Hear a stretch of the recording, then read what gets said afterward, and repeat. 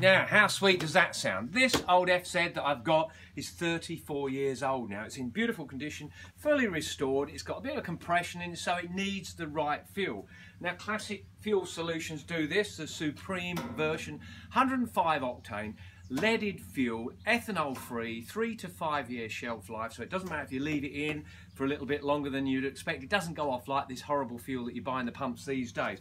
Really top quality stuff and it's extremely consistent. You know exactly what is going in the bike. If only I could get something like this to keep me sounding as good, but just check it out.